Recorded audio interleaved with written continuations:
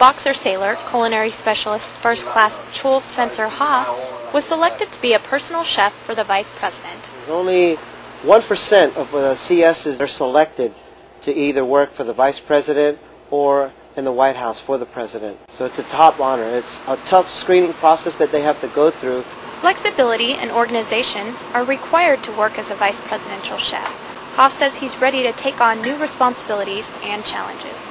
I'm looking forward to it. My plan is uh, do well. Um, I mean, it's once in a lifetime opportunity. It's going to be a challenge, but I think it's going to reward it too. Ha currently works as the commanding officer's personal chef. He leaves the ship next month to prepare for his new job in Washington, D.C. From USS Boxer, I'm Petty Officer Jennifer Kimball.